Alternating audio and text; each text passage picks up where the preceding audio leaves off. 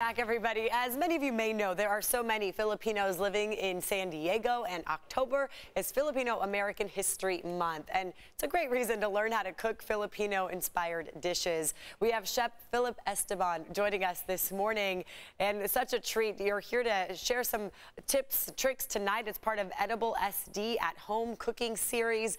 And this morning, since we have you on our show, we're hoping you share some tricks with us. Good morning, Chef. Good morning, everyone.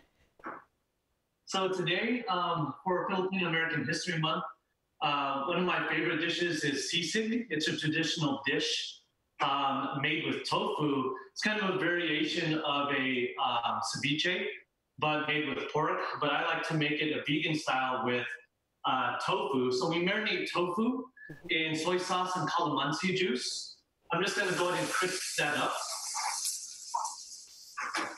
You can hear the sizzle. What I really wanted to do is just kind of brown the edges, get it really crispy. Uh, for the sake of TV and time, I kind of went ahead and crisped up the tofu already. Gotcha. Um, you can see some uh, little brown crispy edges there. We appreciate that, yeah. I've always had trouble making my tofu crispy. and so I like to use wood ear mushrooms. Okay. Um, it gives the textures of pig ear. So it's traditionally in sisig, it's kind of like um, pork jowl, pork belly, pig ears. And so wood ear mushrooms give the texture of it as well. And so I marinate this in also brown sugar, um, calamansi juice, and soy sauce. And so I'm just going to add that in and let that start to get crispy. I love that you're teaching us some uh, recipes here this morning, but tonight you're going to be talking as well for a virtual cooking class. Tell us a little bit about that while you're cooking that up. This is an edible SD at home cooking class. Um, this is going to be their second segment. And so it's just giving and offering uh, people at home to be able to cook with professionals. And so there are still a few tickets available.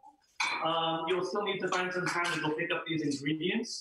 Um, you can get them at any local supermarket. If there's anything particular, you can always sub it out with anything else you want. Okay. Uh, ear mushrooms might be hard. You can find, you know, bun mushrooms or coffee mushrooms, things like that.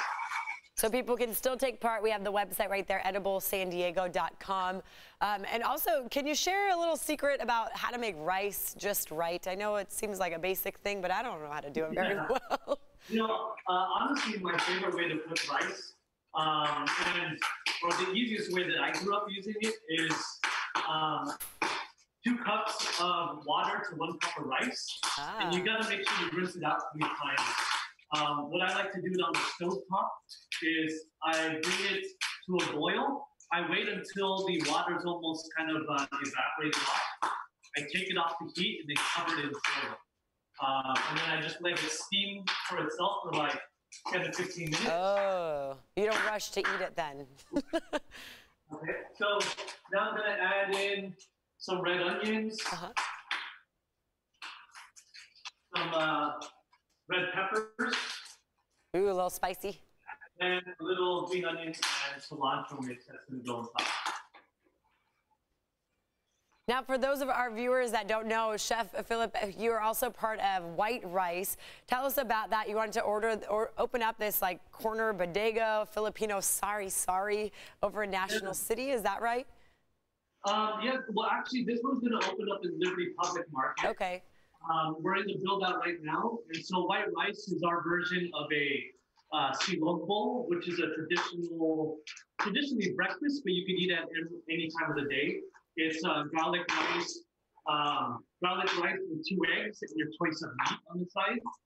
Um, so this should open up in two to three months. Again, in uh, Point Loma, Liberty Public Market. Okay.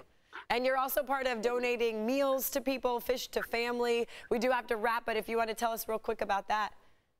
Yep, fish to families is um, it started off, uh, you know, when the pandemic happened, the thing is that not just the restaurants struggle, but everything down the food chain. So, um, you know, farmers, fishermen, and so they reached out and they asked if we could help create a program that allows um, us to feed people in need uh, through fish.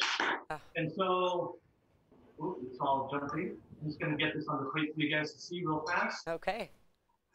Um, Plate it up for us. Yeah, it's a great thing you're doing to support uh, the fishermen and families who need food, of course. Oh, let's see the final product here. Ooh, and it's steaming. That looks good. Oh, we're so hungry here, Chef. Thank you so much. Uh, thank you everyone. Thanks for joining me this of morning. Of course, yeah. Our viewers at home, you can sign up. You still have space, virtual cooking class with Chef Phillip. Thank you so much. Good to see you this morning. Good morning. Thank you.